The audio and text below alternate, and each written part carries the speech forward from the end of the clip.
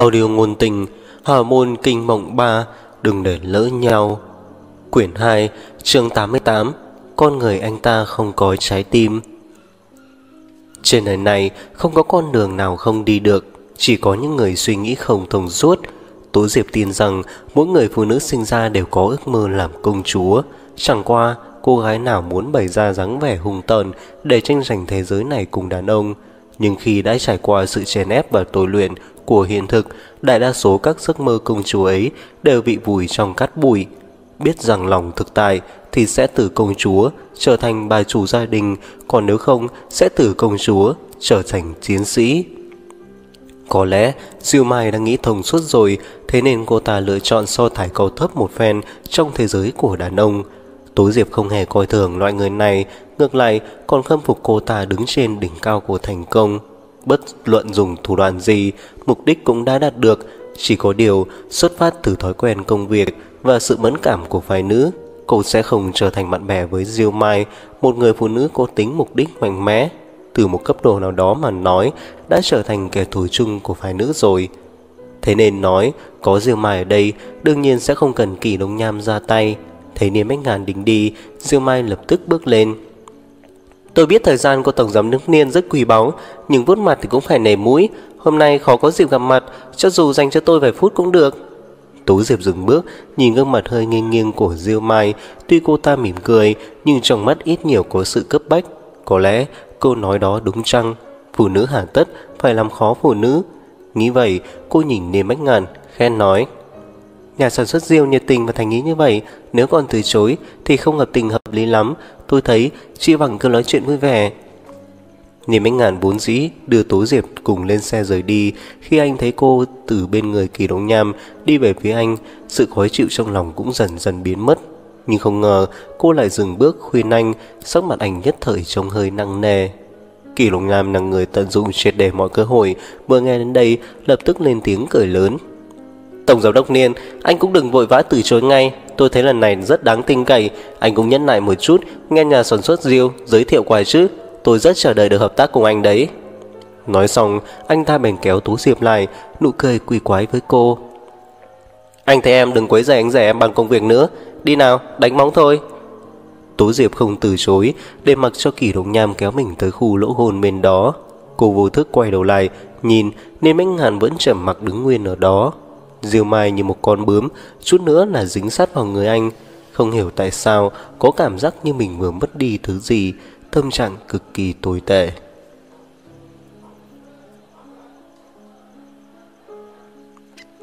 Kỳ Đông Nam dừng bước, ngồi thẳng xuống dưới đất. Tố Diệp thấy anh ta không đi nữa, cảm thấy kỳ lạ. Chẳng phải đi đánh gôn sao? Ngồi đi. Kiều Đông Nham vỗ vỗ bên thảm cỏ bên cạnh, ngẩng đầu nhìn cô, đối diện với mặt trời, gương mặt anh ta trông bỗng có vẻ đứng đắn. Tố Diệp nhìn anh ta có chuyện muốn nói, đen môi xuống. Anh ta lấy tiền thẻ, vòng tay khoác lên vai cô. Không đợi Tố Diệp phản ứng, bất chợt lên tiếng. Tiểu Diệp, em không theo anh cũng không sao, nhưng tuyệt đối không thể theo anh ta. Hả? Tố Diệp ngẩn ra, quay đầu nhìn anh ta. Vì hai người ngồi nhau cá gần, lúc cô quay đầu lại, khoảnh khắc giữa hai gương mặt càng thu hẹp hơn nữa. Gần tới mức cô có thể nhìn rõ lồng ngực phân chia rõ ràng dưới cổ áo thể thao của kỳ đúng nham. Cũng gần tới mức cô có thể dễ dàng bắt được sự nghiêm túc, chân thành trong mắt của anh ta. Cô hơi ngượng ngùng, không biết vì quá gần hay là vì lời nói của anh ta đã nói trúng tim đen. Cô miễn cưỡng, giật giật khóe môi. Anh nói bậy cái gì vậy? Cái gì mà theo anh mới theo anh ấy? Chẳng phải em thích anh ta sao? Kỳ đồng nhàm cho mày. Tố Diệp suýt chút nữa thì tất thở, hơi cao giọng. Ai nói tôi thích anh ấy? Kỳ đồng nham nhìn cô hồi lâu Hai tay thu chặt lạnh mạnh mẽ. Em cứ coi nhà anh nói linh tinh đi. Tóm lại nên mấy ngàn đó Em vẫn nên cách xa một chút. Càng xa càng tốt. Nói thế nào anh ta cũng là anh rể của em. Em còn muốn bị mọi người xì xào sao? Đừng nói là Niêm Anh Ngàn đã kết hôn Cho dù anh ta còn độc thân Anh ta cũng tuyệt đối không phải là đối tượng em nên thích. Tại sao? Tố Diệp hỏi ngược lại. Kỳ đồng nham đưa mắt nhìn về phía xa Cô cũng nhìn theo. Ánh nắng kéo dài bóng hình của niêm ánh ngàn Cao lớn phóng khoáng Nhưng tại toát lên một vẻ xa cách cư tuyệt Người từ ngàn cách ngàn dặm. Diêu Mai trông vô cùng thân thiết Nói không ngớt bên cạnh anh Không biết là chuyện gì. Niềm ánh ngàn là người không có trái tim. Bên tai, lời giải thích của Kỳ Đông Nham có phần lạnh lẽo. Tố Diệp bất ngờ quay thẳng nhìn vào mắt anh, nhất thời không hiểu ý trong lời nói đấy.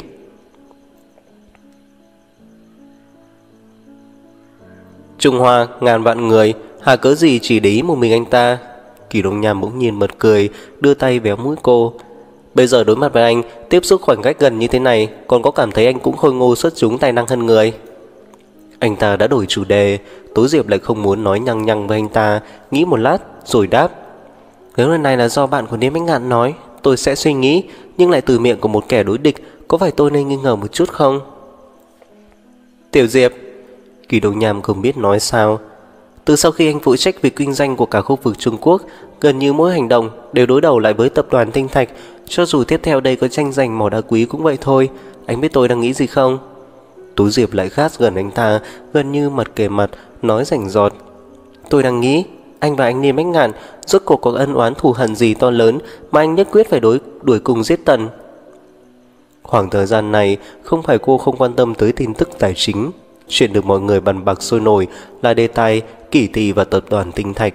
Sự quan tâm của mọi người lần lượt tập trung vào hai người trẻ trèo lái, đứng đằng sau hai tập đoàn lớn, tuổi tác tương đồng, kinh nghiệm tương đồng, thậm chí lá cải hơn nữa thì vẻ anh Tuấn vi phạm cũng giống nhau. Có nhà bình luận tài chính so sánh Kỳ Đồng Nham và Niêm Hách Ngàn là Bộ Kinh Vân và Nhiếp Phong trong phong vân, mặc dù chưa cầm dao cầm kiếm giao chiến thực sự, nhưng đã chuyển ra tin tức về những con sóng ngầm đang cuộn trào. Nhưng Tố Diệp lại thật sự lo lắng sẽ nói đúng câu nói, thành bài cũng đều là phong vân. Cô sợ rằng trai cỏ đánh nhau, ngư ông đắc lời. Em nghĩ nhiều rồi, thương trường như chiến trường, không thể làm bạn, cũng không thành kẻ thù. Kỳ đồng nhàm khẽ cười. Cả hai người không ai cố ý đuổi cùng diệt tận ai cả, em phải biết, cũng nghe thấy thôi. Vừa rồi, anh muốn nói cùng hợp tác của anh ta mà. Lời hợp tác của anh nghe chẳng có chút trọng lượng nào, chẳng qua là cưỡi ngựa xem hoa, nói cho hợp cảnh vậy thôi. Tố Diệp nào có vẻ trẻ con khi nhìn thấy rõ bầu không khí êm dịu giữa bên bánh ngàn và kỳ đồng nham, cô càng không thể tin nổi mấy lời nói này. Nhưng kỳ đồng nham lại nhớn mày. Tiểu Diệp, em hãy tin thành ý của anh, hôm nay hẹn nhà sản xuất Diêu tới đây, đúng là bàn bạc chuyện đầu tư vào bộ phim điện ảnh. Em cũng biết bây giờ rất nhiều thương hiệu đá quý đều tham gia vào ngành công nghiệp văn hóa, đây gọi là vượt qua thế giới kinh doanh, đôi bên cùng có lợi. Hơn nữa, vì em, anh cũng phải chủ động từ bỏ, chủ động tỏ thái độ hòa bình đi thôi. Nếu không, bố em làm sao đồng ý cho em lấy anh? Tối Diệp lửa anh ta. Kỳ Đông Nham, chúng ta không thể nói chuyện nghiêm túc một chút sao? Được được được, nghiêm túc một chút. Kỳ Đông Nham vội vàng thu lại nụ cười. Tiểu Diệp, anh nói thật đấy, anh thật sự rất thích em, thế nên có thể cho anh một cơ hội được không? Tố Diệp chống cằm, nhìn anh ta nhíu mày. Anh thích tôi từ khi nào? Kỳ Đông Nham nhìn cô, không có trả lời ngay. Không trả lời được chứ gì? Tố Diệp không nhìn được cười. Kỳ Đông Nham nhìn cô như đang suy nghĩ điều gì, một lúc sau mới nói. Anh thích em từ lâu rồi, trước đây là xem ảnh, sau đó từ sau lần gặp em ở Thanh Long Hiệp thì đã hoàn toàn trúng tiến xét ái tình. Sao tôi chẳng thấy đáng tin gì cả, anh ở đâu ra? Em mặc kệ anh lấy ở đâu ra, tóm lại là tiểu ra đây đã ưng em rồi, nếu em có theo anh không? Kỳ đồng nham cố tình làm vẻ mặt bá vương cứng đầu, thân hình cao lớn cũng áp sát xuống, ngữ điệu tùy tiền. Tố Diệp mỉm cười, đẩy anh ta ra. Ai dô ai dô, con tiểu ra cơ đấy, làm tuổi hết cả hồn. Cũng chẳng cần hỏi nữa, nếu đã có giao tình, tấm ảnh chắc chắn lấy từ nhà cậu. Con đầy tiểu ra, tiểu gia thì cứ ép em, gạo nấu thành cơm. Kỳ đồng nhàm nói, rồi giơ tay ra, chuẩn bị thơm trộm. Ai ngờ, một chiều bắt tóm của Tố Diệp đã chế ngự được anh ta. Một giây sau, ấn anh thả xuống thảm cỏ. Kỳ đồng nham đau đớn kêu gào thảm thiết. Bà cô, em còn ra tay toàn độc với anh sao? Còn dám động tay động chân với tôi không? Cả người Tố Diệp đè xuống lưng anh ta, thầm siết chặt cổ tay, cười tít mắt hỏi bên tai. Không dám nữa, không dám nữa, mau tha cho anh đi, sắp gãy tay rồi. Kỳ đồng nham không ngừng cầu xin. Nói, chị ơi, em sai rồi. Tố Diệp lại có vẻ nhã nhặn. Kỳ đồng nham liếc mắt nhìn cô, vẻ mặt bi thương. Chúng ta có thể bỏ xương hô đi, nói ba chữ cuối được không? Tố Diệp chẳng thừng dùng sức mạnh trả lời thỉnh cầu của anh ta. Gãy rồi, gãy rồi, còn bạn nữa gãy thật đấy. Kỳ Đông nhàm thấy hào hán không sợ thiệt trước mắt Vội vàng nói Chị ơi em sai rồi. Thế còn được. Tố Diệp đưa tay vỗ lên gò má méo sạch của anh ta Mím môi cười. Chịu ghi phục ngay từ đầu Có phải không phải chịu khổ không? Tiểu Diệp Diệp Diệp. Trên đầu vang lên giọng nói có phần sắc lạnh Gần như đã xua tan bầu không khí nóng nực.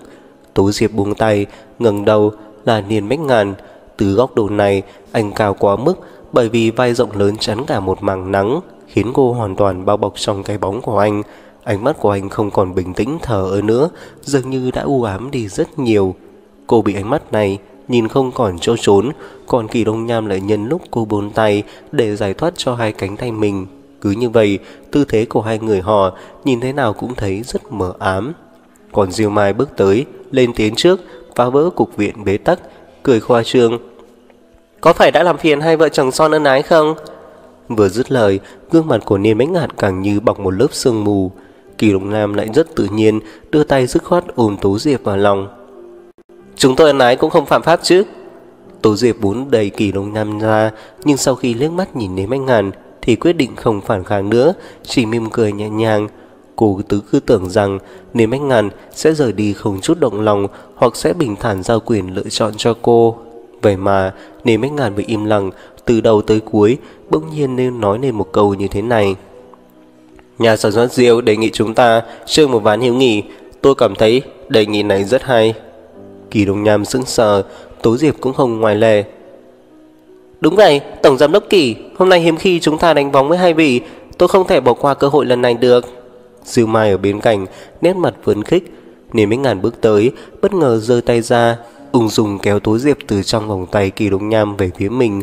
Cánh tay lại đổi hướng, ôm lên bờ vai cô không chút biểu hiện, cúi đầu mỉm cười, hỏi ý kiến của cô.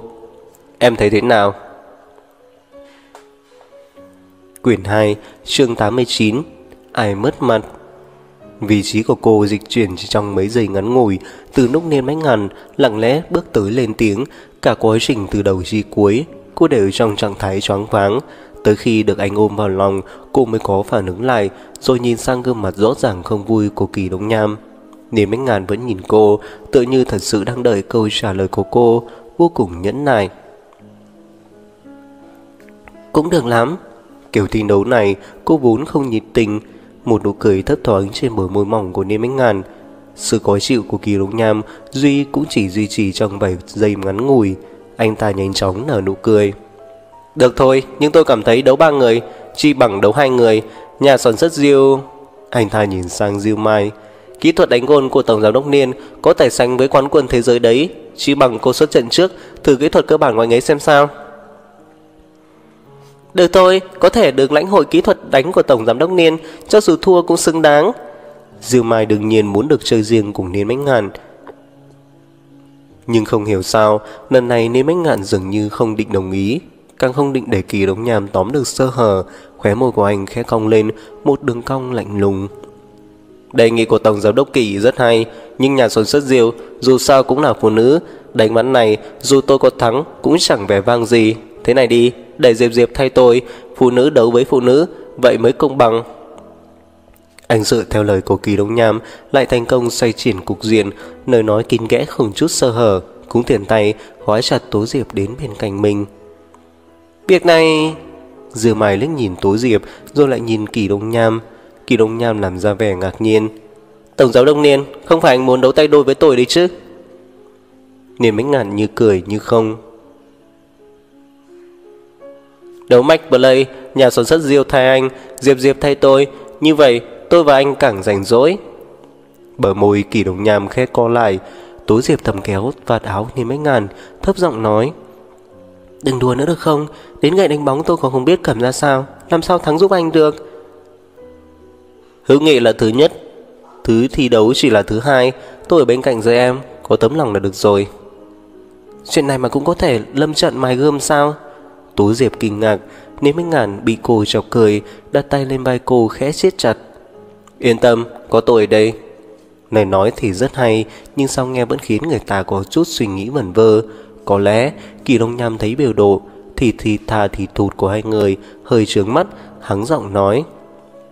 Tổng giám đốc Niên, anh chẳng biết thương hòa tĩnh ngọc gì cả Sao, cậu sợ nhà sản xuất Diêu Thua Diệp Diệp là mất mặt cậu sao Niềm ích Màn nhếch môi cười Tú Diệp trong lòng anh thẩm thoát mồ hôi thay cho kỳ đông nham Tiêu chiếc tiêu, quan trọng là thiên thời địa lợi, nhân hòa. Màn đấu đầu tiên kỳ đông nham đã thắng, nhưng từ sau phản ứng của Niêm Bách Ngàn có thể thấy tiếp theo đây sẽ không chuẩn bị nhường kỳ đông nham. Từ giây phút này làm ví dụ, từng câu từng chữ của Niêm Bách hạn như đinh đâm thẳng đến chỗ hiểm của đối phương. Anh dùng Diêu Mai và cô để phân định rạch ròi thế trận để kỳ đông nham hiểu rằng Tố Diệp cô là người nằm trong đội hình của Niên Bách Ngàn. Cú chín gần độ sức này, nên Minh Hà đã chiếm thế thượng phong.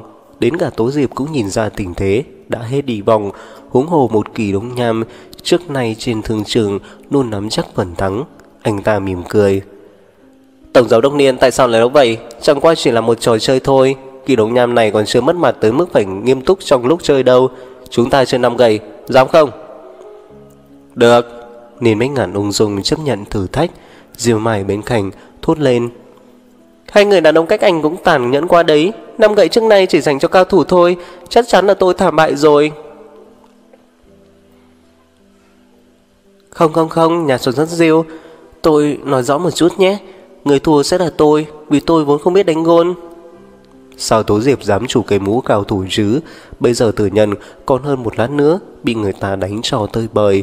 Diêu Mai không ngờ cô lại không biết đánh gôn, Hơi ngẩn người ra nên mấy ngàn này từ tốn, bổ sung thêm một câu.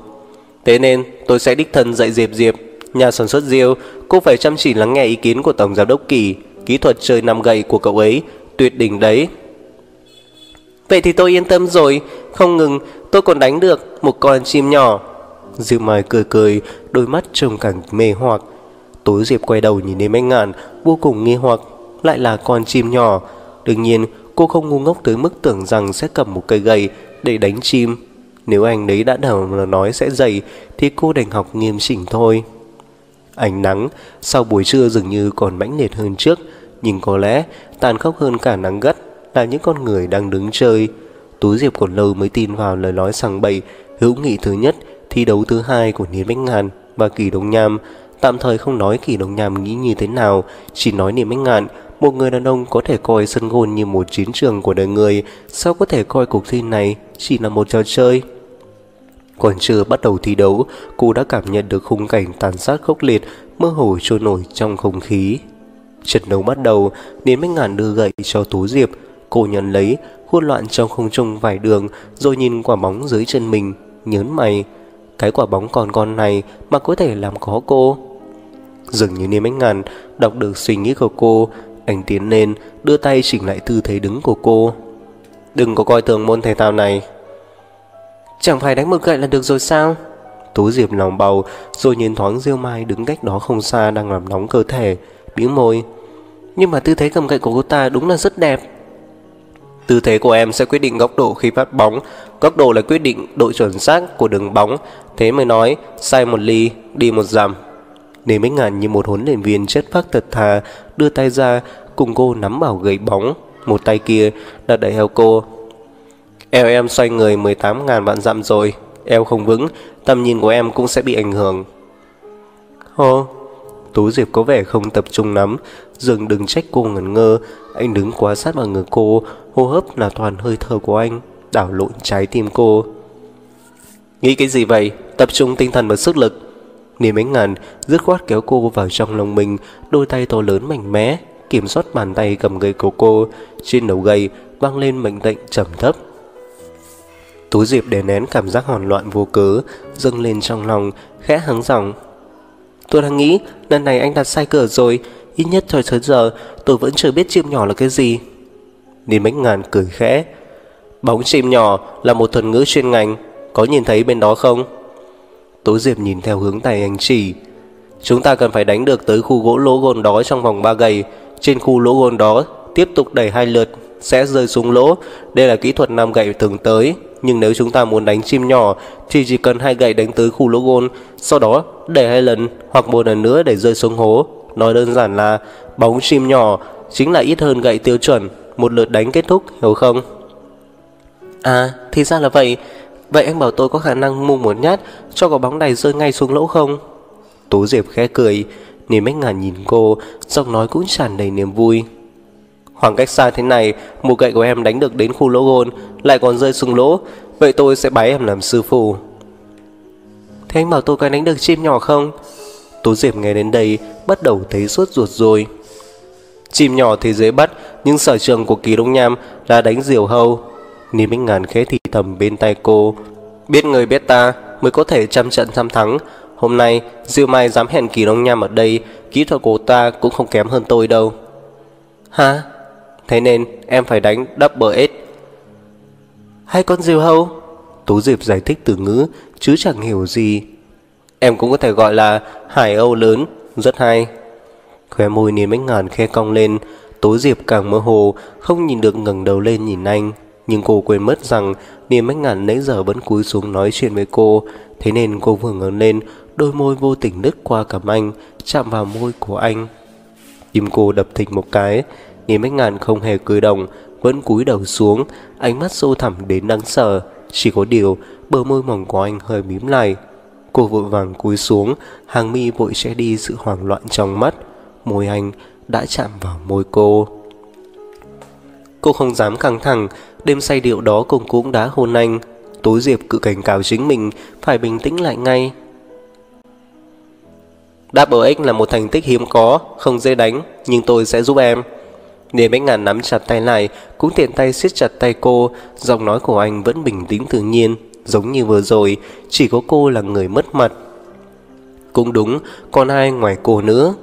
Mặt trời đan cài bóng hình vào nhau, Còn bên kia, Siêu Mai và Kỳ Đồng Nhàm đã kết hợp lại đánh được thành tích không tồi Cũng giống như những gì Niêm Bách Ngàn đã suy đoán, Kỹ thuật đánh gôn của Siêu Mai Không thua kém gì Kỳ Đồng Nham, Cũng là y như những gì anh dự đoán, Hai người họ đánh một quả chim mừng. Có phải chúng ta hết hy vọng rồi không? Tối Diệp chẳng muốn liên lụy anh chút nào Cứ lên khu gỗ đỗ gôn rồi tính Nói rồi, Niêm Mách Ngàn nắm chắc tay cầm gậy của cô, quả bóng nhỏ như một thiếu nữ nhanh nhẹn, bay lượn nhảy nhót trong không trung, thoải mái vẽ lên một đường cong hoàn hảo. Tú Diệp nhìn quả bóng hớn hở, chỉ vào nó. Tôi mong là có thể rơi ngay vào lỗ. Há miệng trà sung. Nói rồi, anh nắm chặt lấy tay cô, đi về phía lô gôn. Tú Diệp cúi đầu nhìn bàn tay lớn của anh, bắt đầu từ khi nào? Cô bắt đầu cảm thấy chỉ nắm tay thế này cũng căng thẳng, rồi cô liếc nhìn gương mặt nghiêng nghiêng được ánh nắng phát họa lên một vẻ đẹp khác thường của anh. Cô nhất thời mê hoặc, nếu anh chưa kết hôn thì... Tổng giám đốc Niên, xem ra anh muốn đánh double S. Giọng nói uể oải của Kỳ Đông Nham khéo tố diệp ra khỏi mây đắm. Nhìn thấy hai người nắm tay nhau thì hơi đỡ ra. Dựa vào cô ấy ư? Hiếm khi thấy ni Bách Ngàn cười, anh giơ tay gõ lên đầu Tố Diệp. Cầm gậy thế nào cũng học rất lâu. Tố Diệp nhíu mày. Thế mà anh còn định bắt tôi vào cùng một đội với anh? Nỉ Bích Ngàn lại nói. Em không theo tôi thì theo ai? Tổng giám đốc kỳ sao? Bên cạnh cô ấy không thiếu những người đẹp cao thủ đâu. Em làm sao mà chen vào được? Quyển 2 chương 90 Ai không có tư cách? Kết quả Hải Âu lớn đã đánh được đa rồi, Nhưng không phải từ tay Tố Diệp. Cô không trở thành anh hùng đi săn, Mà là thợ săn là Nê Mách Ngàn Vì ngay lúc đó, cô chuẩn bị nhắm tịt mắt, Định nằm theo mèo mù vớ cá rán. Quyền vung gậy trong trước mắt đã chuyển vào tay Nê Mách Ngàn Anh lấy cây gậy từ trong tay cô. Khi đầu gậy vừa chạm vào quả bóng, Kỳ Đông Nham đã nói một câu hàm ý sâu xa. Tôi ngược lại, Rất muốn xem xem anh có bắt được hai chú chim ưng về hay không. Nê Mách Ngàn cúi đầu nhìn quả bóng. Qua tia nắng, Đôi mắt của anh giống như tấm vải bị mực tàu nhuộm đen nụ cười vốn nhạt nhòa cũng gần như ẩn đi. Cậu sai rồi, trên đời này có rất nhiều chuyện không phải xem mình có làm được hay không, mà xem mình có muốn làm hay không thôi. Nói xong, anh vung gậy dứt khoát, quả bóng nhỏ đó bay lên dưới ánh mặt trời khiến người ta chói mắt. Diêu Mai là người đầu tiên xông lên, xúc động đến nỗi, lời nói cũng không ổn định nữa. Trời ơi, Tổng giám đốc Niên, anh ấy, anh ấy thực sự đánh được double S rồi, quá lợi hại. Lần này, Diêu Mai không thể làm dịu đi bầu không khí như mong muốn, bởi vì sự căng thẳng giữa Niên Bánh Ngàn và Kỷ Đông Nham chỉ răng tang mà thôi. Còn Tố Diệp vẫn chưa lên tiếng, cô ở bên âm thầm quan sát hai người đàn ông trước mặt, tự thấy khó hiểu trong lòng. Câu nói đó của Kỳ Đông Nham rốt cuộc là có ý gì? Hải Âu lớn, thật sự chỉ là một tên kỹ thuật đánh bóng thôi sao? Diêu Mai đứng ngượng ngùng ở chỗ lỗ gôn, không biết tiếp theo nên nói gì cho phải. Kỳ Đông Nham nhanh chóng vỗ tay cho cú đánh đặc sắc vừa rồi, nửa nói nửa đùa nửa thật. Anh quả nhiên vẫn xuất sắc hơn, khâm phục khâm phục. Là tổng giám đốc Kỳ nhường thôi. Nét mặt Niên Bách Ngàn vẫn điềm nhiên. Niên Bách Ngàn, lúc anh chuẩn bị quay đi, Kỳ Đông Nham đột ngột gọi cả tên họ đầy đủ của anh, cởi bỏ xưng hô giả dối từ lúc gặp mặt cho tới giờ. Thanh âm mình tà mát lành, chênh lệch nhiệt độ khủng khiếp với ngày hạ nóng nực này. Không phải tôi nhường anh, mà tôi cho rằng anh sẽ đánh cú đúp đó, dù sao thì anh cũng không có tư cách. Mấy chữ cuối gần như nhảy ra từ kẽ răng của anh ta, chữ nào chữ nấy lạnh ngắt, đến cả biểu cảm của anh ta cũng vậy, nụ cười đã tắt từ lâu. Ánh mắt nhìn về phía niềm ánh ngàn, chỉ còn sự mỉa mai không hề che giấu. Lần này, Tố Diệp cũng không âm thầm quan sát nữa, vẻ mặt của Kỳ Đông Nham như một ăn tươi nước sống người ta, không muốn khiến cô nghĩ nhiều cũng khó. Cuộc cạnh tranh trên thương trường chưa đến lúc vạn bất đắc nhĩ thì tuyệt đối không ai muốn cầm rõ dao kiếm. Dù chỉ là kỳ đông nham hay là niên bánh ngàn cũng vậy, điều này đứng nhân tài trong chốn này không thể không biết, phải trầm ổn kiểm chế để chủ tính kế hoạch, xấu tứ mức nào chí cũng phải học được cách khống chế cảm xúc. Nhưng kiểu xé rách tề diện thế này rất hiếm gặp, nghĩ cũng đủ biết, ngay từ đầu đều khiến hai người giàn vật phải đấu tranh thương trường gì. Bất luận thế nào, cuộc chiến của hai người đàn ông này cũng không liên quan tới cô. Nhưng hiển nhiên, có người suy nghĩ hoàn toàn trái ngược với cô. Diêu Mai thấy tình hình không được ổn, bèn vội bước lên, tươi cười nói. Sao vậy? Ban nãy còn vui vẻ lắm mà. Tôi thấy tại trời nóng quá. Thế này đi, tôi chủ chi, mời hai vị tổng giám đốc đi uống nước. Thế nào? Tú Diệp ở một bên, thật sự không dám nhìn cảnh tượng này. Cô chống tay lên chán, thầm thở dài, một người quanh năm lượn vòng giữa các loại đàn ông như diêu mai, một người đẹp không sai.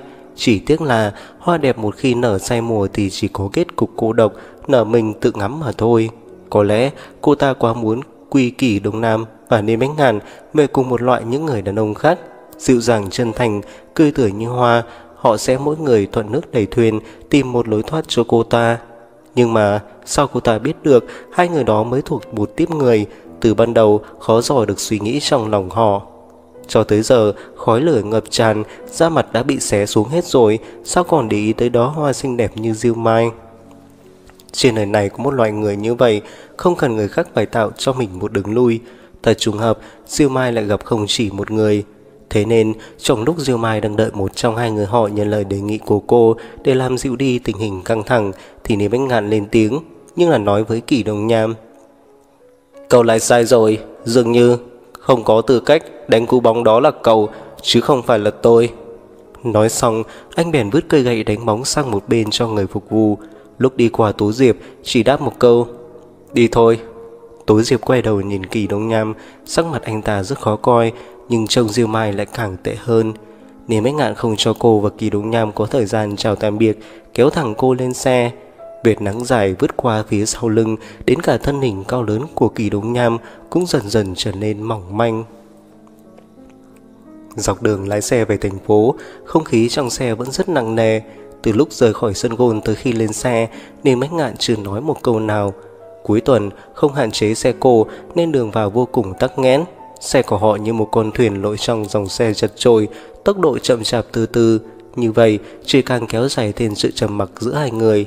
Tố Diệp ở ngồi trên ghế phủ, nhìn rất lâu ra ngoài cửa sổ, bất giác cảm thấy phiền muộn trong lòng. Nếu cô có một chút khó chịu hoặc có tài tiền trì rút thảm một chiếc đĩa CD mang đi, ít nhất cũng không im mắng như bây giờ. Phía trước đèn đỏ bật sáng, chiếc xe bắt đầu đi chậm lại. Tố Diệp quay đầu sang, tiện thể đánh giá người đàn ông ngồi bên cạnh. Những đường nét lặng lẽ, không hề chuyển biến. Bờ môi và chiếc cằm kiên nghị nhìn thế nào cũng không phải kiểu người dễ chọc vào. Đương nhiên, cô không muốn làm bia đỡ đạn. Cô giơ tay bật radio giao thông lên, tiếng nhạc vui vẻ và giọng nói quen thuộc của người MC ở một mức độ nào đó cũng làm dịu đi không khí trong xe. Giờ đang là chuyên mục giao lưu với thính giả, MC nữ nói. Chủ số điện thoại có đuôi 4688 đã gửi tới chúng tôi một tin nhắn thế này. Anh ấy nói bạn gái của mình là người bạn thân nhất của mình đã qua lại. Anh là đều người giấu anh ấy hẹn hò được một thời gian rất dài rồi. Anh ấy buồn bực tới mức muốn chết. Bên trái là tình bạn, Bên phải là tình yêu. Anh ấy nên từ bỏ cái nào? MC Nam lúc này tiếp lời. Gặp phải chuyện này đúng là khó xử. Những người bạn tốt đó của anh thật sự không đáng được coi trọng. Chuyện lớn như vậy có thể giấu tới lúc nào? Thật ra vốn không phải vấn đề tiến thoái nương nan, Chỉ là cách thức và phương pháp không đúng. Hai MC trong radio Mỗi người một câu. Chủ đề giao lưu hôm nay là Tâm sự chuyện khiến bạn khó xử. Tố Diệp không ngờ rằng vừa mới bật đài lên Đã nghe phải một chủ đề kỳ quặc thế này. Hai người còn mang chuyện đó ra bàn luận sôi nổi, Cũng có không ít thính giả Nhắn tin tới đường lời khuyên. Tố Diệp nghe thấy buồn cười, Lại nhìn lên bánh ngàn Rồi nói, Tôi nghĩ anh và Kỳ Đông Nham Chắc không phải vì lý do cầu huyết này Mà cất tứ tình anh em đấy chứ. Đèn xanh bật sáng lên Lý Bách Ngàn đạp vào chân ga. Chính vào lúc Tố Diệp tưởng rằng anh sẽ tiếp tục im lặng anh hở hứng đáp lại, Lý do này đúng là cầu huyết. Thì ra, anh cũng chú ý tới nội dung của chương trình radio. Tố Diệp thấy anh có phản ứng ít nhiều cũng có thể nói chuyện rồi, liền nho nhỏ lên tiếng radio xuống. Tôi nghĩ chắc anh sẽ không có nhã hứng để kể cho tôi nghe chân tướng sự việc đâu. Đường chính quá tăng nghẽn, Xe đi chốc chốc lại dừng, Nên mấy ngàn dứt khoát đổi hướng, Đánh xe vào một con đường nhánh. Tố Diệp cười nhạt, Người đàn ông trước nay luôn thích thuận thế, Mà đi bất ngờ đổi hướng, Có lẽ điều khiến anh gian vặt Không phải là đoạn đường trước mặt. Em và cậu ta rất thân thiết. Niêm Bích ngàn bất ngờ hỏi câu này, Giọng nói mát rượi. Tố Diệp không ngờ, Anh này chĩa mũi rủi nhọn vào cô. Hứng hở không trả lời ngay. Trước khi em có hứng thú với sự thật, Có phải nên nói với tôi chuyện của em và cậu ta trước không? Nên mấy ngàn vững trái, Nắm chắc vô lăng Ngữ điệu không nhanh không chậm. Tú Diệp ngồi bên, trả lời hơi hợt. Chuyện của tôi và anh ấy rất đơn giản, Kẻ mù cũng nhìn ra được. Nên mấy ngàn hơi nghiêm mặt, liếc mắt nhìn cô. Anh ấy là đối tượng xem mắt của tôi, Theo như anh ấy nói, Thì chúng tôi còn chưa ra đời, Đã có hôn nước rồi. Nên mấy ngàn khẽ hừ Tố Diệp nhớn mày nhìn anh. Sao? Anh không tin ư? Nói không chừng, Cuối cùng thật sự phải nghe lời bố bố mẹ và mai mối đi chứ? Tố Diệp ở ngoài vận mình, Tháo luôn chiếc mũ lưỡi chai xuống, Tung mái tóc dài ra, Nhẹ nhàng mát ra ra đầu để giảm bớt áp lực. Cô nhắm mắt lại. Tôi cảm thấy anh ấy cũng không tệ. Sau này, đừng qua lại với cậu ta nữa. Mệnh lệnh của Niên Minh Ngàn ngắn gọn và dứt khoát. Cô chừng mắt nhìn anh, Không ngừng. Lý do? Đúng là bất thường, Cả hai đều căn dặn cô câu này. Niên Minh Ngàn do dự, Lát sau mới nói. Cuộc cạnh tranh của tinh thạch và kỳ thị đang khốc liệt. Tránh xa cậu ta là phải tránh xa thị phi. Đúng là một lý do quang minh chính đại. Tú Diệp bật cười vỗ tay. Vì tốt cho em thôi. Anh điểm nhiên. Tú Diệp vội vàng chắp tay. Vậy thì tôi phải cảm ơn ý tốt của anh rẻ rồi. Nếm Minh hẳn liếc cô một cái, Không lên tiếng nữa. Câu chuyện của tôi anh nghe hết rồi. Cô anh thì sao? Tú Diệp xích người về phía anh, Làm điều bộ như đang rửa tay lắng nghe. Hai người đàn ông Dành một người phụ nữ là chuyện quá bình thường. Nếu anh đã phủ nhận, Vậy thì sự thật là gì? Không lẽ anh và anh ấy vốn dĩ là bạn tốt, Sau đó trở mặt tình thù Vì yêu quá hóa hận? Con đường phía trước đã thông thoáng hơn, Nên mấy ngàn cũng lái nhanh hơn. Này, Thấy anh im lặng, Cô không nhìn được phải thúc giục. Sau khi nghe các suy đoán của cô, Anh vẫn bình tĩnh. Đúng như những gì em nói, Tôi thực sự không có nhã hứng đến thế. Đến mấy ngàn anh đúng là đồ gian thương Tố Diệp bỗng chốc bốc hỏa Nhục mạ ông chủ là trừ tiền lương đấy Nếu mấy ngàn cong mua lên Tố Diệp nhíu mày Kiếp trước anh phải bị bóc lột đến mức nào kiếp này mới không quên ngược đãi nhân viên vậy? Thế kiếp trước em phải keo kiệt đến mức nào mà kiếp này mới không quên, không có lời, không dễ sớm vậy? Tôi đang nói sự thật. Tố Diệp lửa manh, bề ngoài tử tế, lòng dạ đen tối, thâm hiểm già hoạt, chanh chua mỉa mai, tôi nói anh đấy. Đúng là lần đầu tiên có người tổng kết cách tính cách của tôi chuẩn đến vậy. Niềm anh ngàn không tức giận mà bật cười. Em cũng đáng yêu qua đấy. Tố Diệp dứt khoát quay ngoắt nhìn ra cửa sổ, chẳng thèm đáp lại anh. Niềm anh ngàn nhân lúc rẽ Đảo mắt nhìn cô Không nhìn được cười Chiếc xe đi thẳng vào tiểu khu nơi cô ở Ở dưới nhà Anh dừng lại Tối Diệp xách tích túi đựng bộ lễ phục tối hôm trước Tháo dây an toàn Vừa định xuống xe Niềm bách ngàn bất ngờ giữ chặt cánh tay của cô làm gì vậy Cô cảnh giác Tôi không khinh biết chuyện riêng tư của anh đâu Nếu không chẳng phải sẽ mất bao nhiêu tiền Nên bách ngàn hơi ngẩn người Rồi nhanh chóng mỉm cười khó xử Tôi chỉ muốn nhắc lại một câu thôi Câu gì? Anh nhìn cô không chớp mắt, nụ cười thấp thoáng trên mở môi không còn nữa, ánh mắt cũng dần trở nên nghiêm túc. Đừng gặp lại kỳ đồng nham nữa. Quyển 2, chương 91, tưởng nhớ người chết như thế nào. Bắc Kinh chính thức bước vào những ngày tắm hơi, mùa khó chịu nhất trong năm. Tiếng kêu của những con ve trên cây cũng hoài hoài, yếu siêu, hơi nóng ban ngày có thể duy trì tới tận 11-12 giờ đêm. Chỉ cần ra ngoài đi dạo một vòng là mồ hôi sẽ ướt sũng xuống sống lưng, không thể thở nổi, gần như một lần đi tắm. Điều hòa cũng trở thành vật dụng nhất định phải chuẩn bị các hộ gia đình.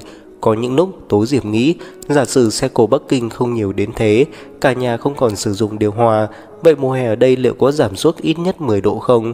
Con người từ xã hội nguyên thủy phát triển lên vì tiện ích của cuộc sống mà sáng tạo ra công nghệ. Công nghệ thay đổi thế giới nhưng cũng hủy hoại thế giới, làm ô nhiễm thảo nguyên, làm heo úa cây cối, làm mất dần nguồn nước. Con người bắt đầu dựa dẫm vào công nghệ, mong rằng chất lượng cuộc sống mỗi ngày một tốt lên, nhưng thực chất hoàn toàn ngược lại. Vì thế, con người lại bắt đầu lợi dụng công nghệ để dưỡng sinh, quay trở về thế giới màu xanh. Cô là một bác sĩ tâm lý, không tin vào cái gọi là thánh thần, nhưng cô tin vào nhân nâng quả. Vạn vật được sinh ra, được một lợi thì sẽ hại một.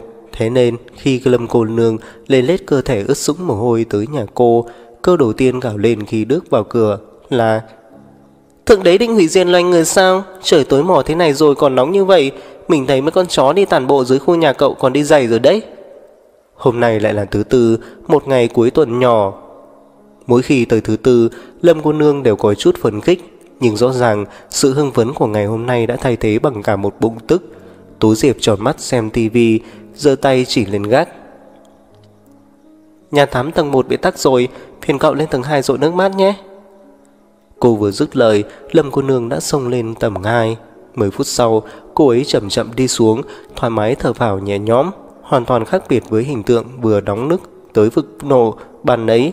Thấy Tố Diệp bày xong bữa tối trên bàn, cô nói một câu. Mau đi tìm bạn trai đi, nhà tắm tắc cũng chẳng có ai sửa cho cậu. Lâm cô nương, công việc sửa nhà tắm này mình chỉ cần bỏ ra 108 đồng là được rồi. Tố Diệp nhìn cô ấy bật cười. Mình đã quen với cuộc sống một mình rồi, bắt mình đột ngột thích ứng với việc bên cạnh có một người đàn ông, khó lắm. Thế cậu muốn cô độc đến giải chắc, Còn không nhanh nhanh mà tìm phải đàn ông tái giá đấy. Người ta còn dắt thêm một đứa con, Chẳng phải cậu vừa mới lấy đã phải làm mẹ kế rồi sao? Lâm yêu tới ngồi xuống sofa, Đón lấy đôi đũa, Gõ gõ vào đĩa. Xem xem, đây chính là cuộc sống một mình của cậu đấy. Đến ăn cơm cũng lười đi nhà hàng. Đợi cậu lấy chừng trước đi rồi hanh nói, Khỏi phải ngày nào cũng tới ăn chùa của mình. Những ngày Đinh Tư Thừa không ở Bắc Kinh, Lâm yêu yêu thường xuyên tới nhà cô. Chân cậu làm sao vậy? Lâm yêu tắm xong mặc luôn váy ngủ của Tố Diệp ra ngoài để lộ ra một vết bầm tím trên đầu gối. Cô ấy tiện tay kéo lên xem, nhíu mày. Trời ơi, bầm tím cả rồi, chẳng trách lại đau thế. Sao lại bị vậy? Đừng nhắc nữa, trên đường đi làm về, bị xe của một tên công tử bột đần độn quẹt một cái. Có tiền thì ghê gớm chắc, đừng để bà đây gặp lại hắn ta. Lâm yêu xoa xoa đầu gối, mặt méo sạch. Đừng động vào nữa, có cần tới bệnh viện xem thế nào không? Tú Diệp lắc đầu. Nhất cậu đấy, Để nói chạy mất sao? Xương cốt không đau chắc là không sao. Lâm yêu cử động các khớp xương một chút. Chẳng phải mình vừa rồi mới nhìn thấy thương tích sao? Tú Diệp khẽ thở dài, Thấy cô ấy cử động mình bình thường, Không còn lo lắng nữa. Lâm yêu yêu không có thói quen lái xe. Theo lý mà nói, Với tiền lương của cô ấy, Mua một chiếc xe cũng còn dư giả nhưng qua một lần chuẩn đoán bệnh của cô và Đinh Tư Thừa, Lâm cô nương đây gặp phải chướng ngại trong việc lựa chọn. Cô ấy không thích hợp lái xe, thế nên trước nay không bon chen lên tàu điện ngầm thì cũng là xếp hàng đi xe buýt. Sau khi tối diệp tới tập đoàn Tinh Thạch, Lâm Yêu cũng tiện đi nhờ xe. À, đúng rồi, có một chuyện buồn cười lắm. Lâm Yêu đã đói từ lâu rồi, lùa vài hộp cơm rồi phòng mồm chậm má nói với Tố Diệp. Thì ra nhọ Diệp còn có một cô con gái thứ hai đấy. Ừm. Tố Diệp nghe cô nhắc tới chuyện nhà Hồ Diệp là tâm trạng không mấy vui vẻ.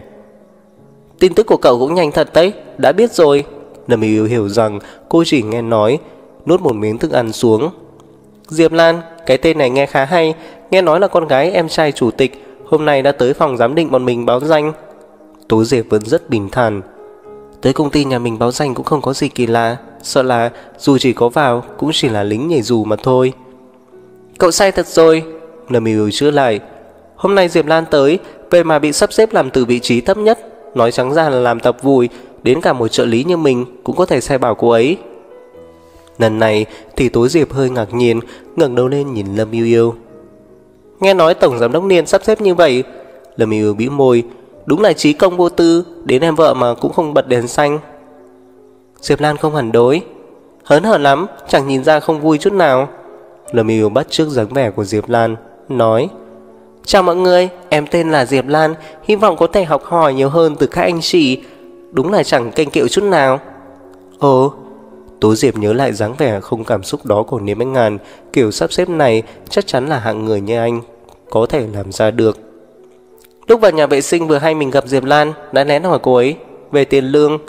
Lâm yêu yêu tấm tắc Cậu đoán coi tiền lương rất thấp Tổng giám đốc Niên thật sự phát tiền lương theo chức vụ. Cậu cũng nhiều chuyện quá đấy. Nói tới nhiều chuyện, Mình thật sự nghĩ tới một chuyện khác đấy.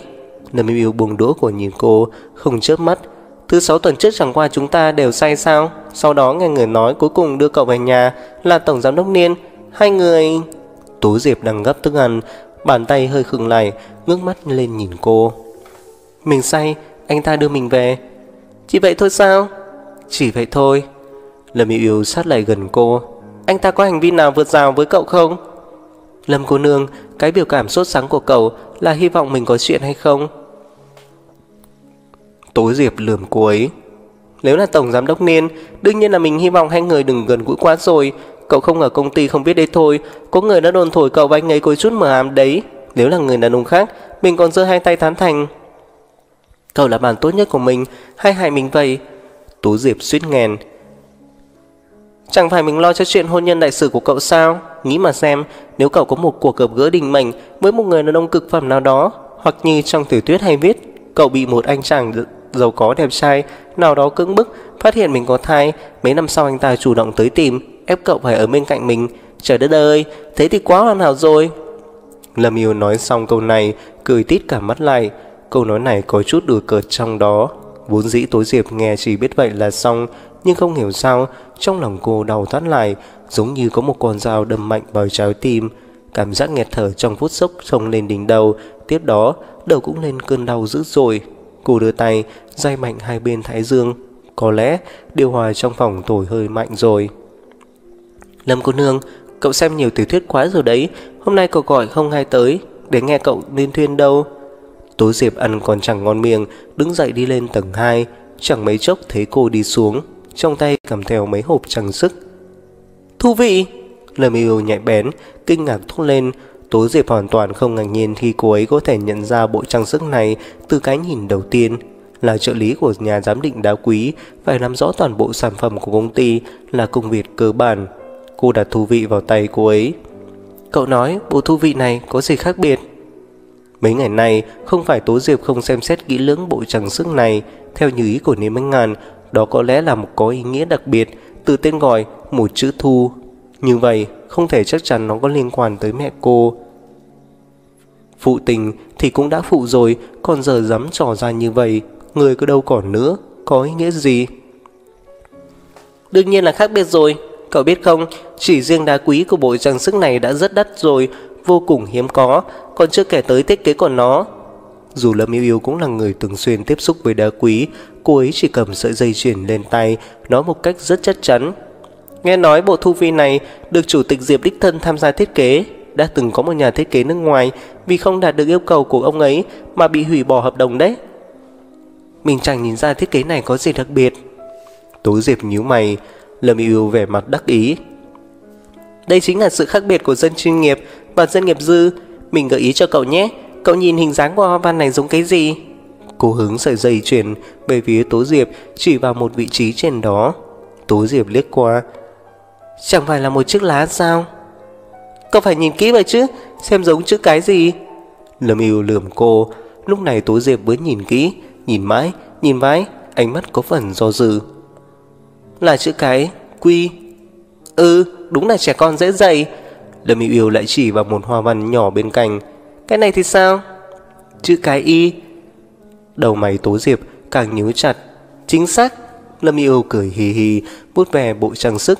Thế mới nói, thiết kế độc đáo của bộ trang sức này chính là khéo léo biến những chữ cái trở thành hoa văn. Bên ngoài nhìn vào giống như một chiếc lá thu xinh đẹp, thực tế có ẩn dấu ý khác. Thiết kế cả tên bộ trang sức này vào trong nữa. Đương nhiên là người thích thu vị, đại đa số chỉ nhìn thấy những viên đá quý lấp lánh hiếm có ở phía trên mặt thôi. Tú Diệp nhìn chân chân vào từng hộp trang trang sức, trong lòng cuồn trào. Thu Diệp, có lẽ Lâm Yêu Yêu chỉ nói đúng một nửa, hai chữ này vốn không phải ám chỉ hai chữ Thu Diệp mà là tên của mẹ cô, Tú Thu, còn lại tên của cô, Tố Diệp. Cô đặt bộ trang sức sang một bên, khóe môi bất giác cong lên, cười khẩy, cho dù như thế, tưởng cô sẽ cảm động thật sao, dùng một bộ trang sức để tưởng nhớ người đã chết, tình cảm sâu sắc này bày ra cho ai xem. Niềm ánh ngàn ở niềm ánh ngàn, anh thông minh cả đời nhưng lại đi sai nước khờ. Màn kịch tình cảm này không những không khiến cô rung động, ngược lại càng cảm thấy phản cảm hơn. Diệp tử, biểu cảm của cậu là sao vậy? Trông như chỉ muốn nuốt sống chúng vậy. Liêm yêu nhìn thấy vẻ mặt cầm thuẫn của cô, có phần kinh ngạc, đưa tay véo má cô. Còn nữa, bộ phu vị này số lượng có hạn trong năm nay, sao cậu rộng rãi vậy? Má bị Lâm Yêu Yêu véo tới đau đớn, lúc này Tố Diệp mới có phản ứng, để nén cảm giác lạnh lẽo trong lòng, hờ hứng đáp lại. Thấy đẹp thì mua thôi, phụ nữ nó mua sắm, vốn không lý trí mà. Quyển 2, chương 92, anh ấy không hề dễ dàng. Vậy thì cậu đúng là rất thích bộ trang sức này rồi, số lượng có hạn đấy, người trong nội bộ công ty có mua cũng không được giảm giá đâu. Lâm Yêu Yêu cẩn thận xếp lại từng món đồ rồi đặt bắt đầu khoe khoang chuyên ngành của mình. Cậu biết không, tất cả các viên kim cương trên bộ trang sức này đều được cắt theo công nghệ của Bỉ, hoàn toàn bằng thủ công, quý giá lắm đấy, do sư phụ Bana chính tay làm xa. Sư phụ Bana, ai vậy? Là một viên ngọc sống hạng nặng trong tập đoàn chúng ta, bố anh ấy là người Bỉ, mẹ là người Trung Quốc, anh ấy theo nghiệp bố, học được kỹ thuật cắt kim cương tinh tế và chuẩn xác của Bỉ, Mặc dù nước Mỹ chưa được trao quyền, nhưng nghe nói họ đã nắm trong tay kỹ thuật lửa xanh lam rồi. Đương nhiên, Lâm Yêu Yêu hiểu về tập đoàn Tinh Thạch nhiều hơn Tố Diệp mới giới thiệu chi tiết hơn cho cô. Mình chỉ biết được khi Chủ tịch Diệp có nắm quyền, tất cả các kim cương của tập đoàn đều phải vận chuyển sang Bỉ tìm thợ cắt chuyên nghiệp. Sau khi Tổng Giám đốc Niên nhậm chức, đã mời sư phụ Bana tới, rồi ngấy lại tìm kiếm những học trò phù hợp với điều kiện thành lập lên tổ cắt mày của chúng ta. Như vậy, tiết kiệm được không ít chi phí, mình có nghe nói Bana vốn có quen biết với Tổng Giám đốc Niên. Họ cùng một thầy mà ra. Hả? Cậu không biết sao? Thấy bảo từ khi Tổng Giám đốc Niên còn rất trẻ Đã đi học thuật cắt kim cương Làm từ học viên trở lên rất vất vả Chắc đã quen Bana từ lúc đó. Lâm Yêu kể rất nghiêm túc.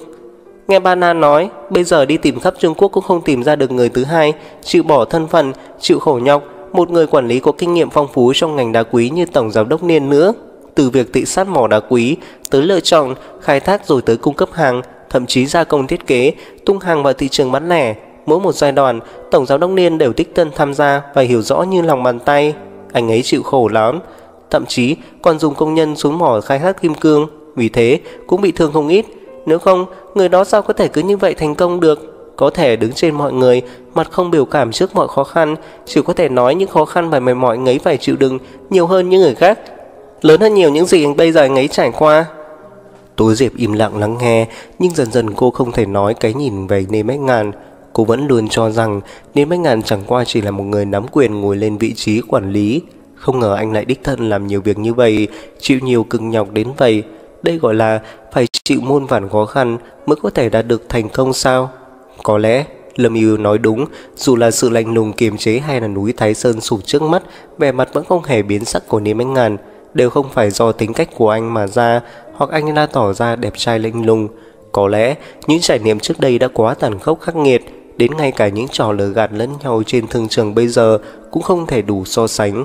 Niềm anh ngàn, rốt cuộc anh là người đàn ông như thế nào? Chẳng mấy chốc, Tố Diệp đã được gặp sư phụ Bana mà Lâm Yêu nhắc tới. Hơn 40 tuổi, da đen thui, dáng vẻ trông cũng không cao lớn trắng kiện, gương mặt mang đường nét của con lai, nói tiếng Trung rất lưu loát, Bất luận hình ngang nhìn dọc kiểu gì cũng không thể như anh ta là một sư thụ có tay nghề cắt kim cương tạt tới mức tinh xảo, nhưng không thể xem mặt mà bắt hình rong, diện mạo càng không rất đẹp, có thể là người ẩn giấu tài năng.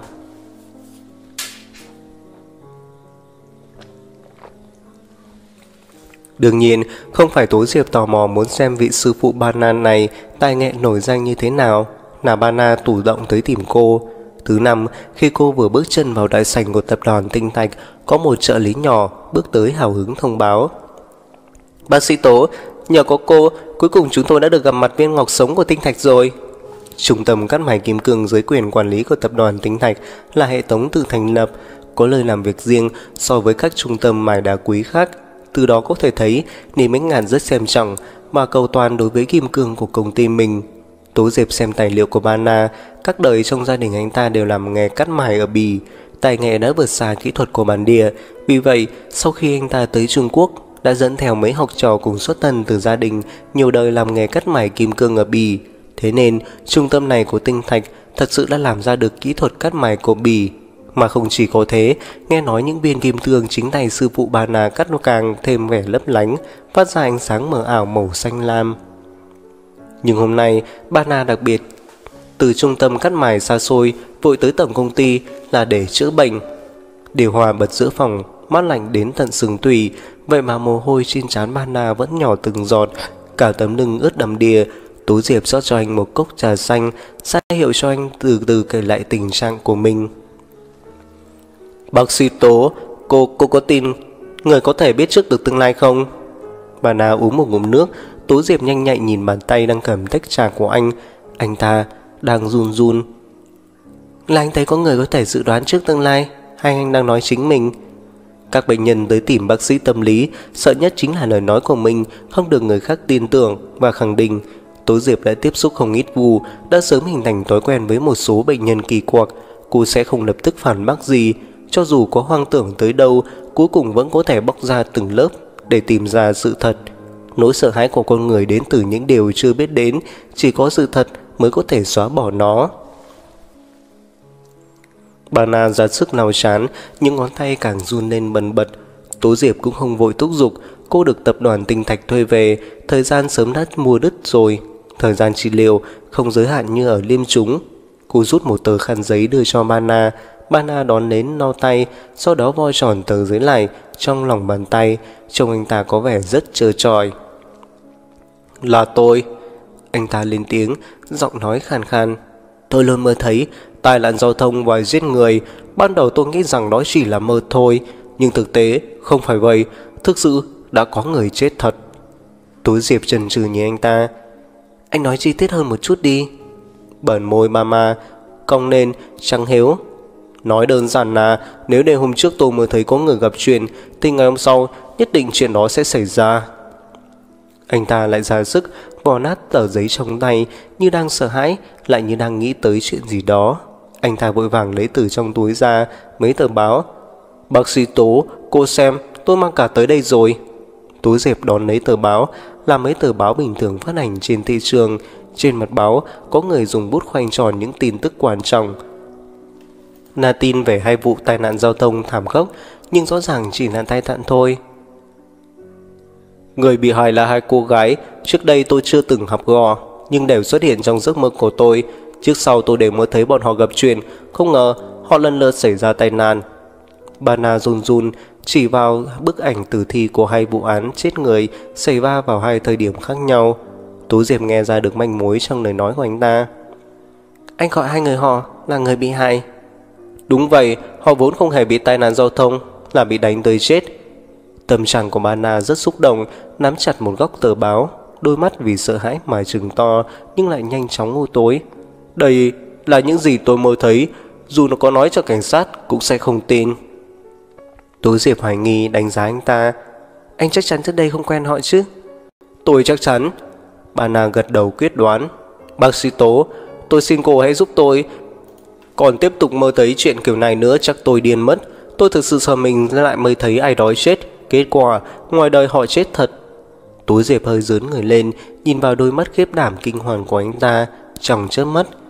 Vậy trong mơ anh có nhìn thấy hình dáng của hung thủ không? Rất mơ hồ, nhưng trong mơ tôi không nhìn rõ. Bà Na giơ tay, siết chặt tay Tú Diệp, căng thẳng nuốt nước bọt. Tôi không dám nói với gác những chuyện này, sợ họ coi tôi là kẻ tâm thần, Bác sĩ Tố, cô tin lời tôi nói chứ, tin chứ. Anh đừng kích động. Tú Diệp khẽ an ủi anh. Ba Na, anh có thói quen uống rượu không? Tôi... Bà Na đột nhiên do dự. Tôi biết công việc của anh nghiêm cấm uống rượu. Tổng giám đốc Niên đã nhiều lần nghiêm khắc cảnh báo việc hạn chế uống rượu. Tú Diệp nói rành mạch. Nhưng tôi không phải ấy, thế nên anh phải thành thật cho tôi biết anh có uống rượu hay không. Dứt lời, cô chỉ vào đầu ngón tay đang run lên từng hồi của anh ta. Bà Na hoảng hốt, lập tức nắm chặt tay giấu đi, giải thích. Tôi, tôi có uống một ít rượu, nhưng tay tôi run là vì sợ hãi, không phải vì say rượu. Bác sĩ Tố, hôm nay tôi không có uống rượu. Tú Diệp suy nghĩ, gật đầu. Vậy được rồi, tôi có thể giúp anh, nhưng trước tiên anh phải ổn định lại tinh thần của mình đã, kể lại ngọn nguồn, giấc mơ của anh cho tôi, không được bỏ sót bất kỳ chi tiết nào. Bà Na, bây giờ anh có thể kiềm chế cảm xúc của mình không? Bà Na nuốt nước bọt, nắm chặt tay rồi gật đầu. Được. Hơn 4 giờ chiều, ba Na mới rời khỏi phòng làm việc của Tố Diệp. Tố Diệp rót một cốc nước, đi tới bên cạnh cửa sổ. Cô nhìn xuống con đường người xe tấp nập phía dưới, lông mày bất giác nhíu chặt. Cô không tin cái gọi là tiên tri, phản ứng đầu tiên của cô chính là não bộ của Bana đã xảy ra biến đổi bệnh lý gì không, nhưng nội dung trên báo cáo lại nói rất rõ ràng.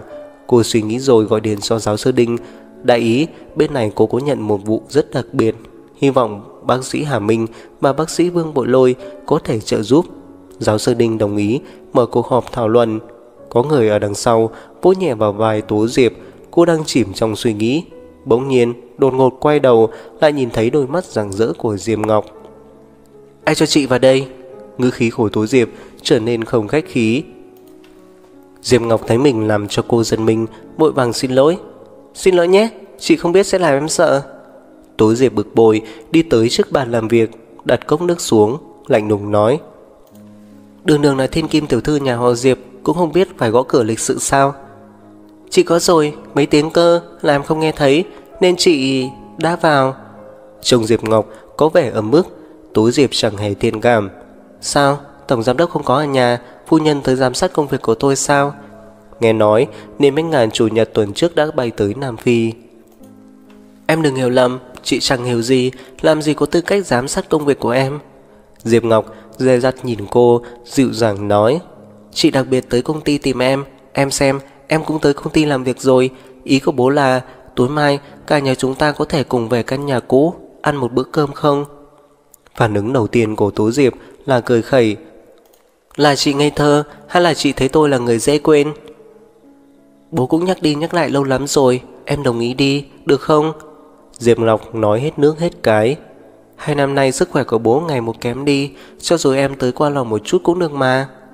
Nụ cười trên môi Tố Diệp không hề mất đi, Diệp Ngọc thấy cô kiên trì từ đầu tới cuối, cũng khó xử, khẽ thở dài. Hay là em suy nghĩ thêm đi, dù sao cũng còn một ngày nữa mà. Không cần suy nghĩ nữa, tôi tới. Tú Diệp bất ngờ nhận lời. Thật sao? Diệp Ngọc hai mắt sáng rực. Tú Diệp vòng ra sau bàn làm việc, ngồi xuống, hờ hững đáp. Tôi phải làm việc rồi, mời chị đi cho, thứ sáu tôi sẽ tự qua đó. Diệp Ngọc thấy vậy cũng không dám nói thêm. Quyển 3, chương 93, yêu cầu vô lý của người đàn ông. Cái giết con người ta không phải là sự lẻ loi mà chỉ là sự cô đơn, những góc khuất vắng vẻ, tiếng người ồn á. Trong đêm hèn này, cho dù nước mắt ngập tràn ánh đèn, cuối cùng vẫn đơn độc một mình, không ai biết bạn là ai, cũng chẳng ai nhớ bạn là ai. Lại tới cuối tuần, nét tào nhã và bận nhộn nhịp của cuộc sống ban ngày sắp bị thay thế bằng vẻ gợi cảm, quyến rũ của cảnh ban đêm. Ánh đèn đường cũng bắt đầu chen chúc nhau, chiếm tròn không gian, âm thần xuất hiện dưới sắc bản âm u của ánh tịch dương và dưới bóng tối đang ùn ùn kéo tới. Hơn 4 giờ chiều, Tú Diệp từ tinh thạch quay về liêm chúng. Giáo sư Đình đã sắp xếp một cuộc họp chung cùng với Hà Minh và Phương Bộ Lôi, chủ yếu bàn về tình trạng của Bana. Đầu tiên, Tú Diệp yêu cầu Lý Thánh Đàn photo toàn bộ tài liệu của Bana, phát cho mỗi người một bản, Cuộc họp này kéo dài từ hơn 4 giờ chiều tới tận giờ tan sở, vẫn chưa đạt được sự thống nhất trong quan điểm. Sau khi đọc tài liệu Bana, thái độ của Hà Minh từ đầu tới cuối vẫn không rõ ràng, trông có vẻ không quan tâm nhưng cũng không bài xích, chỉ có điều không hề thay đổi suy nghĩ duy trì từ đầu. Từ góc độ chuyên nghiệp mà nói, tình trạng này của Mana bước đầu có thể phán đoán là chứng hoang tưởng, điều này không có gì để nghi ngờ.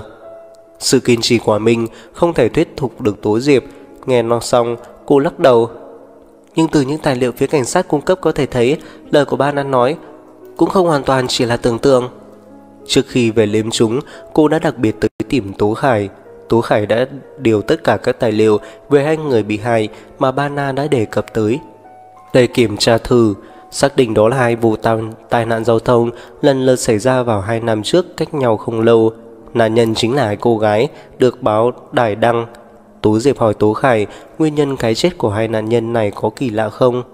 Tú Khải cho rằng cô hỏi một câu hỏi chắc chắn vụ tai nạn giao thông hai năm trước đã tiến hành kết luận vụ án theo hướng sự cố giao thông rồi. Nhưng những vụ gần đây đã khiến phía cảnh sát nghi ngờ, trước mắt vẫn còn đang điều tra. Nhân lúc Tố Khải không chú ý, cô đã lén sao chép tài liệu về hai nạn nhân đem về niêm chúng. Phương Ngộ Lôi nhìn tài liệu trong tay, đặt ra nghi vấn. Nếu như trí nhớ của Banna xảy ra vấn đề thì sao? Tố Diệp ngẩng đầu, đợi cô ta nói tiếp. Có lẽ Banna đã xem bài báo của hai năm trước từ rất lâu rồi. Sau khi xem, vô hình chung trong tiềm thức đã lưu lại vết tích. Mọi người đều biết rõ điểm ký ức của mỗi người là khác nhau. Có lẽ chính vì bài báo của hai năm trước đã khiến cho Mana có ấn tượng sâu sắc nên đã hình thành giấc mơ. Còn có sự cố gần đây là hai vụ hai năm trước có những điểm cơ bản giống nhau nên lại kích thích về điểm ký ức của Mana, tiềm thức lại một người rơi vào trạng thái kiềm nén lâu ngày tự nhiên sẽ ngừng tới thay đổi tâm lý. Tiếp đó, anh ta sẽ sản sinh cảm giác sai lầm, tự thôi miên bản thân, cho rằng anh ta nằm mơ trước, rồi vụ án thảm án mới xảy ra. Vương Bồ Lôi, thử thuyết phục Tố Diệp. Ý của tôi là, Thật ra phải có những hình ảnh và thông tin thực tế trước, Rồi mới có giấc mơ của Bana Tôi không đồng tình, Phân tích từ giấc mơ của Bana Tư lý logic của anh ta rất rõ ràng, Tình trạng tâm lý của anh ta rất tốt. Tố Diệp lắc đầu, Hà Minh đóng tập tài liệu lại, Nhìn thẳng về phía Tố Diệp.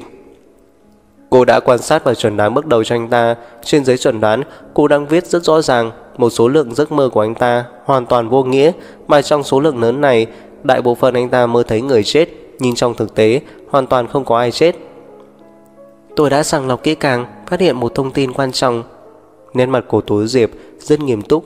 Cho dù giấc mơ của anh ta có lộn xộn, Vô nghĩa thế nào đi nữa, Thế nhất có hai vụ án phù hợp với thực tế. Chính là vụ án hai năm trước Và vụ án gần đây chúng ta vừa nhắc tới Trong giấc mơ của anh ta Quá trình xảy ra hai vụ án vô cùng rõ nét Địa điểm đều ở trước một căn biệt thự Tôi đồng tình với cách tiềm thức bị ảnh hưởng, nhưng tuyệt đối không đồng ý với việc ba Nam mắc chứng hoang tưởng, càng không tin rằng trí nhớ của anh ta có vấn đề. Vương Bồ Lôi không biết nói sao, thở dài ngao ngán. Bác sĩ Tố, có lẽ nào cô thật sự tin rằng anh ta có khả năng dự đoán trước tương lai? Quá hoàng đường. Bác sĩ Tố, cô nghiên cứu về giấc mơ, có lẽ đã từng tiếp xúc với vụ án không phân biệt rõ đâu là thực đâu là mơ, cũng giống như chuyện trang trù mộng điệp vậy, không cần phải không tồn tại loài người này. Giọng Hà Minh vang lên mạnh mẽ. Tối Diệp nhìn bức ảnh chụp nạn nhân trên hồ sơ vụ án, không phản bác ngay lại ý kiến của Phương Bội Lôi và Hà Minh. Cô giữ im lặng, rất lâu sau mới bất ngờ nói một câu. Nếu cả hai người đều cho rằng trí nhớ của Banna có vấn đề, vậy thì có một điểm mấu chốt cần phải giải thích. Phương Bội Lôi và Hà Minh đồng thời nhìn về phía cô. Tú Diệp hít sâu một hơi, đặt hồ sơ lên mặt bàn, ngữ khí và sắc mặt đều rất nặng nề. Bana thường xuyên sinh sống ở Bỉ, tiếng Trung của anh ta học từ mẹ của mình. Tôi đều được biết, mặc dù anh ta nói tiếng Trung vô cùng lưu loát, nhưng không nhận được nhiều mặt chữ thượng hình, trước mắt vẫn còn đang học. Hai năm trước anh ta còn chưa đến Trung Quốc, cho dù đã từng tới, thử hỏi, bảo một người nước ngoài chỉ biết nói vài chữ Trung Quốc, làm sao nói được hiểu một tờ báo, Chữ Hán một khi không thể hình thành ấn tượng trong não bộ thì làm sao anh ta nhớ lâu được? Câu hỏi này vừa được đặt ra, cả Hà Minh và Vương Bội Lôi đều chìm vào ý lặng. Ánh mắt theo đó cũng trở nên do dự. Rõ ràng Tố Diệp đã đánh trúng trọng điểm của vấn đề, hai người họ nhất thời cũng không đưa ra được đáp án. Phòng họp bỗng chìm trong bầu không khí trầm mặc. Cuối cùng, Sáu Sơ Đình vẫn im lặng cuối lên tiếng, ông uống một hớp trà rồi nói: Tôi thấy vụ án này của Bana còn cần nghiên cứu thêm, chỉ dựa vào chuẩn đoán ban đầu đã đưa ra kết luận là hơi vội vàng. Đây cũng chính là lý do tôi mời bác sĩ Phương và bác sĩ Hà tới cùng họp. Tú Diệp nhìn hai người họ. Tôi hy vọng hai vị có thể cùng tham gia quan sát. Hơn nữa, tập đoàn Tinh Thạch có ngệnh nghiêm cấm nhân viên trong trung tâm cắt mài uống rượu. Nhưng vì Bana muốn khắc phục nỗi sợ hãi của mình, nên đã lén dùng rượu để gây mê bản thân. Ngón tay của anh ta xuất hiện tình trạng run rẩy. Trước đó tôi đã đề nghị với anh ta đến bệnh viện kiểm tra toàn diện. Đương nhiên, nếu là những biến đổi sinh lý do tâm lý tạo ra, vẫn mong bác sĩ Hà có thể giúp đỡ thêm. Dù sao thì anh cũng là chuyên gia trong trị liệu hành vi. Hà Minh nghe xong, không có biểu cảm gì, trầm ngâm một lát rồi mới nói. Bác sĩ Tố, không phải tôi không muốn giúp cô, nhưng cuộc hẹn trước nay trong tay tôi, năm nay đã xếp kín hết rồi. Đừng nói Ba Na là người của tập đoàn Tinh Thạch, cho dù có là chủ tịch nước tới đây, cần phải xếp hàng thì vẫn phải xếp hàng. Tôi không thể vì một người làm ảnh hưởng tới những người khác. Tú Diệp khẽ nhíu mày, giáo sư Đinh thấy thái độ của Hà Minh cứng rắn như vậy, sợ hai người nảy sinh mâu thuẫn, vội vàng nói. Dù sao Tinh Thạch cũng là khách hàng lớn của chúng ta, chúng ta phải ưu tiên những khách hàng quan trọng. Bác sĩ Hà, cho dù tranh thủ làm thêm giờ cũng được, vì đêm chúng, anh cố chịu vất vả một chút. Hà Minh dựa người vào sau ghế, không nói gì thêm, chẳng biết là đồng ý hay không đồng ý. Tố Diệp biết anh ta vì bộ án của Vương Bình lần trước mà tự dưng kiếm chuyện với cô. Cô nén dần, cũng chẳng hơi đâu quan tâm tới anh ta, nhìn thẳng về phía Phương Bội Lôi. Vậy còn bác sĩ Phương thì sao? Có phải cũng hẹn trước rồi không? Phương Bội Lôi khó xử thở dài. Theo lý mà nói, những cuộc hẹn trước của tôi cũng khá nhiều, nhưng tôi vất vả một chút vậy, không sao cả, coi như tôi trả nợ ân tình của cô lần trước. Cô ta muốn nói tới vụ án bệnh nhân bị thôi miên cầm dao chém người lần trước. Cảm ơn. Tối Diệp nở nụ cười vô cảm, lúc này mới nhìn sang Hà Minh. Nếu thời gian của bác sĩ Hà thật sự eo hẹp như thế thì thôi vậy, nói thật tôi còn hy vọng Bana thật sự có lần được tiên tri gì đó. Như vậy, Tố Diệp của tôi cũng coi như có một công thần của liêm chúng rồi, sau khi có phát biểu luận văn học thuật gì đó cũng được chất lượng hơn. Giáo sư Đinh và Phương Mùa Lôi ngồi bên không khỏi bật cười. Tôi đâu nói không có nhận vụ án này, cũng phải để tôi dành chút thời gian ra chứ. Hà Minh là nhà học thuật điển hình, anh ta càng mong có lời tới khi giáo sư Đinh về hưu được ngồi lên chiếc ghế của ông ấy. Thế nên, phàm là vụ án có chút học thuật, anh ta sao có thể bỏ lỡ. Nụ người trên khóe môi tố diệp càng nở rộng, rực rỡ như cảnh xuân tháng 3, giọng nói lại nhẹ nhàng như gió thoảng. Có phải bác sĩ Hà giúp đỡ tôi thì yên tâm rồi. Cô chẳng dạy gì, đi tin vào cái lý do báo ẩn góc kẻ của Phương Mợ Lôi. Những người trong văn phòng này có ai không nhìn tròng trọc vào vị trí của sáu sư đinh, cộng thêm giờ lại nhận được sự đầu tư của tập đoàn Tinh Thạch, người được ngồi vào ghế đó, nói không chừng sau này sẽ trở thành đối tác chưa biết chừng. Đừng trách cô suy nghĩ đen tối, chỉ trách cô đã nhìn thấu sự thật cố gắng nhọc lòng của Phương Vừa Lôi và Hà Minh lấy gậy ông đập lưng ông cũng không hẳn là không có học cách này. Lúc tam học, ngoài cửa sổ xe cộ qua lại như thoi đưa, ánh đèn đường ngày cuối tuần dường như cũng rực rỡ hơn một chút. Khi Tố Diệp đang thu dọn tài liệu thì nhận được điện thoại của Đinh Tư Thừa, anh ấy vừa về Bắc Kinh. Em không sao, gần đây ăn được ngủ được, tinh thần cực tốt. Sau khi Đinh Tư Thừa hỏi cô tình hình gần đây, cô vui vẻ báo cáo. Đầu kia giọng nói của Đinh Tư Thừa như đang cười. Đến phòng làm việc của anh đi, anh phải tận mắt nhìn thấy em mới yên tâm được, hoặc là em đợi anh thêm nửa tiếng, anh qua đón em. Thật sự không cần đâu, hôm khác em sẽ tới tìm anh. tối Diệp vừa nói, vừa thu dọn túi sách, thở dài nặng nề. Tối nay em phải qua bên đó ăn cơm. Câu nói của cô không đầu công cuối, nhưng Đinh Tư Thừa vẫn hiểu, im lặng một nát mới lên tiếng. Em thật sự muốn đi sao? Anh hiểu em mà. Nếu cô thật sự không muốn, sao lại đồng ý? Thanh âm ngồi đình từ thừa, trầm hẳn xuống. Thế nên anh mới phải hỏi thừa, Tiểu Diệp, có phải thời gian gần đây xảy ra chuyện gì mà anh không biết, hay là em còn dự định khác? Anh là thầy hướng dẫn tâm lý của Tố Diệp, chuyện của cô anh đã biết từ lâu, có thể nói anh hiểu về Tố Diệp nhiều hơn nhiều so với hiểu biết của Lâm Yêu về cô ấy. Tố Diệp khẽ cười. Cũng may, anh còn chưa nhà quê tới mức khuyên giải em phải cởi mở nút thắt trong lòng. Đương nhiên anh rất muốn em làm được như vậy, nhưng tính của em ương bướng, ở phương diện này chẳng ai khuyên được em cả. Giọng nói của Đinh Tư Thừa có vẻ nghiêm túc hẳn. Có thể nói cho anh biết rốt cuộc em đang nghĩ gì không? Tố Diệp thu dọn xong, ngừng lại. Ôi trời, em không sao thật mà, một bữa cơm thôi có gì to tát đâu. Tư Thừa, anh rời khỏi Bắc Kinh không ít thời gian rồi, Yêu yêu sắp nhớ anh đến chết rồi. Hãy cùng cậu ấy vui vẻ trải qua kỳ nghỉ cuối tuần đi.